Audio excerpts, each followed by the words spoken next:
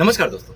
दोस्तों, आप लोग का यूपी पुलिस कांस्टेबल से संबंधित कई सारे प्रश्न आते हैं। उनमें से एक प्रश्न यह भी है, सैलरी से संबंधित। आप लोग सैलरी से संबंधित जो है, प्रश्न बहुत ज़्यादा पूछते हैं। तो दोस्तों, मैं आपको बताना चाहूँगा, जो यूपी पुलिस कांस्टेबल की जो सैलरी होती है, वो इक्कीस हज़ार सात सौ रुपए ये बेसिक पे है। इसके अलावा ग्रेड पे की बात करें तो दो हज़ार रुपए ग्रेड पे है। इसके बाद कुछ अलाउंस ऐड करने के पश्चात आपकी जो सैलरी है, वो तीस हज़ार प्लस पहुँच जाती है। और मैं बात करूँ अगर एनपीएस जो कि आपकी पेंशन स्कीम है, नई पेंशन स्कीम है, उसकी कटौतियों के बाद आपकी जो टोटल इन हैंड सैलरी की मैं बात करूँ तो तीस हज़ार प्लस जो है आपके अकाउंट में आते हैं।